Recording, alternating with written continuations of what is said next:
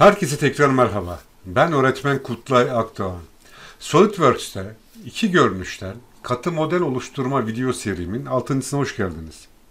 Yine iki görünüşü verilen bir parçamız var. Ön görünüş, üst görünüş. Üst görünüşe baktığımızda 75'e 75'lik bir karemiz var. Üst görünüş dediğime göre arkadaşlar ben buradan başlayacağım üst düzleme ya da top plane'e çizim açıyorum. Merkez noktası ile dikdörtgen komutunu aldım. Orijin merkezli bir dikdörtgen çiziyorum. Kare olması için kontrol tuşuna bastım. Birbirleriyle ilişkili iki kenarı seçiyorum. Eşit yap, make equal seçeneğini kullandım. Şimdi akıllı ölçendirmemi alıyorum. Bir kenara 75 ölçüsünü veriyorum. İzometrik baktım. Ön görünüşe baktığımda bu kare 75'e 10 mm yukarı doğru ekstrizyon verdiğimi görüyorum. Ya da verildiğini görüyorum. Unsurlar ekstrizyonla katı oluştur. 10 mm değerini verdim. Şimdi bu yüzeyi e, düşünün arkadaşlar. Üst yüzeydeyiz. Bu yüzeyde e, açılı e, bir kenar var. Ama tabanı da bu yüzeyin üzerinde tabanı da kare 50 olan bir burada çizim var. Önce bu yüzeye bir çizim açtım. Kare 50'yi çizebilmek için bir dikdörtgen çiziyorum. Yine kontrol tuşuna basarak her iki kenarı seçip eşit yapıyorum. Akıllı ölçülendirmemle bu kenarı seçtim ve kare 50 olduğu için bir kenarı 50 yaptım.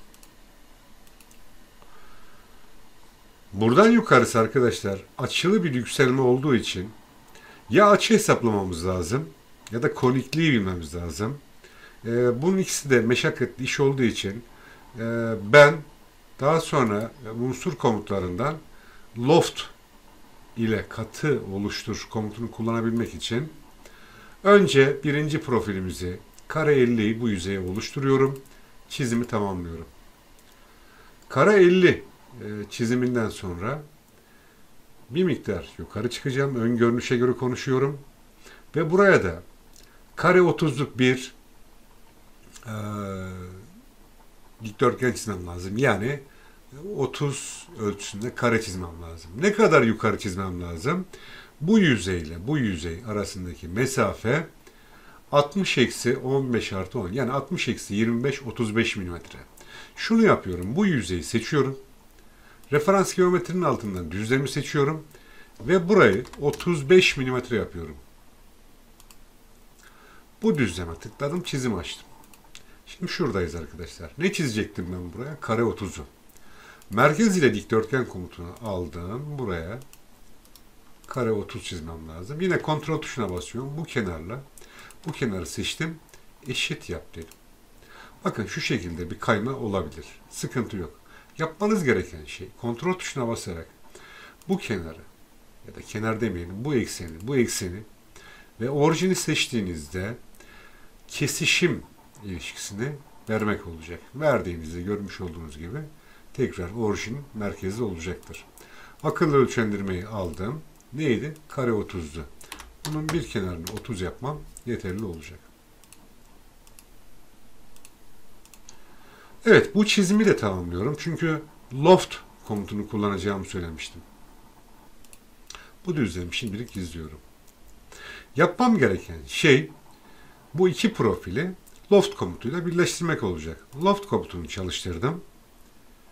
Bu profillerde hangi kenarı nereyi seçeyim gibi bir sıkıntı vardır. Bu kenarla bu kenarı seçtiğiniz zaman burkulma olacaktır. O yüzden size tavsiyem gördüğünüz köşeleri seçmek olacaktır. En belirgin biçimde. Böylece burkulma olmadan bir yükselti olacaktır. Şimdi buraya geldik arkadaşlar. Buradan da dikkat edin şimdiye kadar ağırlıklı olarak çizimimizi hep ön görünüş üzerine yapıyoruz.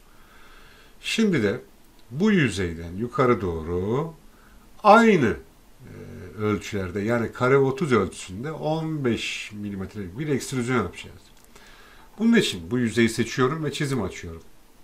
Bu yüzey seçiliyken yani bu şekilde turkuaz renkteyken Convert Entities ile bir yansımasını oluşturuyorum kenar çizgilerini. Şimdi unsurlara geldim. Ekstrizyonla kat oluştur. Ne kadar? 15 milimetre kadar. Böylece katımızın dış gövdesini oluşturmuş olduk. Ama şuradaki kesik çizgilere baktığımda arkadaşlar bunun içinde bir boşaltma olduğunu görüyoruz.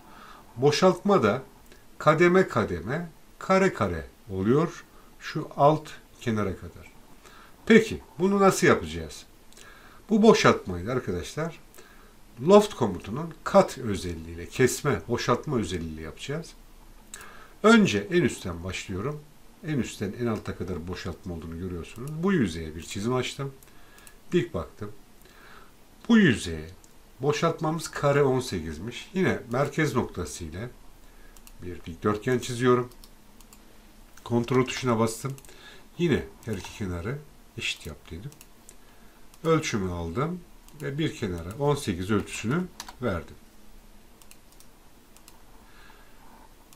Loftlu kesme işlemi yapacağım için ilk profilim bu. Onayladım. Bu profili dikkat edin 15 mm aşağıdaki yüzeye de taşımam lazım. Çünkü kare 18'den düzgün bir kesme işlemi var. Şu 15 aralığında. Bunun için bu yüzeye bir defa tıkladım. Yine referans geometriden plane düzlem komutunu çalıştırıyorum. 15 milimetrelik bir mesafede düzlem oluşturuyorum. Tabii ki bunu flip offset ile aşağı yönlü yaptım. Ve buraya yeni bir düzlem oluşturdum. Bu düzlemi seçtim sağ tuş. Yeni bir çizim oluşturdum.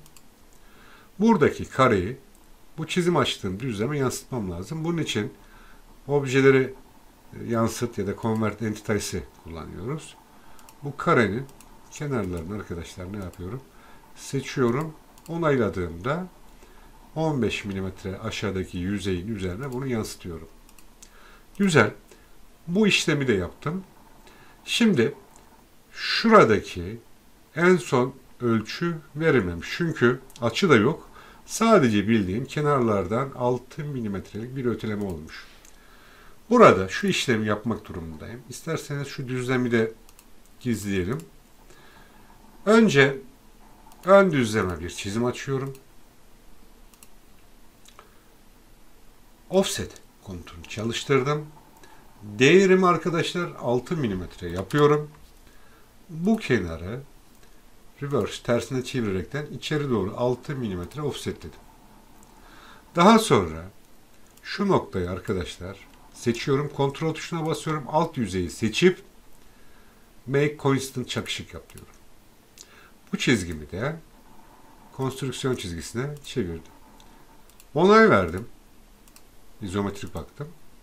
Şimdi right plane'e de çizim açıyorum. Dik baktım. Yine offset komutunu çalıştırdım. Değerimiz 6 mm. Bu kenarda yine seçiyorum. İçeri doğru 6 mm offset diyorum. Bu çizgimizi de yine konstrüksiyon çizgisine çevirdik. Yine bu noktayı seçtim. Kontrol tuşuna bastım. Yine çakışık yaptım. Şimdi şu tabandaki açısını bilmediğimiz boşluğu oluşturmak istiyorum ve buraya da bir kare çizmek istiyorum. Bunun için parçamızın alt yüzeyine bir çizim açtım. Merkez noktasıyla dikdörtgen komutunu alıyorum. Bir dikdörtgen çiziyorum. Şöyle hafif açılı tutuyorum. Şu çizdiğim çizginin uç noktasıyla kontrol tuşuna bastım. Bu kenarı seçip make midpoint orta noktası yap ilişkisini verdim. Yine aynı şekilde diğer eksen çizgimizin uç noktasıyla kontrol tuşuna bastım. Bu çizgiyi seçiyorum. Yine orta noktası yap ilişkisini verdiğimde şu şekilde tabanın ölçüsünü bilmediğimiz karesini de oluşturmuş oluyoruz. Çizimi tamamladığımda 3 adet profil oluşturmuş oldum. Loft ile keserek boşluk oluşturacağım ama aynı anda üçünü arkadaşlar yapmayacağım. Çünkü istediğimiz sonuç ortaya çıkmıyor. Ne yapacağım? İlk iki kısmı önce yapacağım. Yine köşe noktalarını referans alıyorum. Önce bu kısmı loft ile kesiyorum. Bu aşamada şu şekilde e, Bakarsak da daha iyi göreceğiz. Şuradaki e, profili bana lazım. Loft'un altından şunu şovla görünür yapıyorum. Tekrar loft kat ile ikinci kesmem yapacağım. Bunda bu karemle en son oluşturduğum karemin yine köşeden referans aldım. Ve bu şekilde burayı da boşaltmış oldum. Şu çizgileri artık gizleyebiliriz. Kesiti kapattım. Bunu da 6 6 6 diye kaydediyorum arkadaşlar. Ve teknik resim için yine A3 se- seçiyorum. Sağ tuşa bastım. Properties'e First Angle'a geldim. Ve View paletten Şimdi arkadaşlar burada front almayacağız. Artık bunu söylemiş oldum. Evet burası ön görünüş ama biz e, right plane'e çizmiştik. O yüzden right plane'i ön görünüş gibi kabul ediyorduk.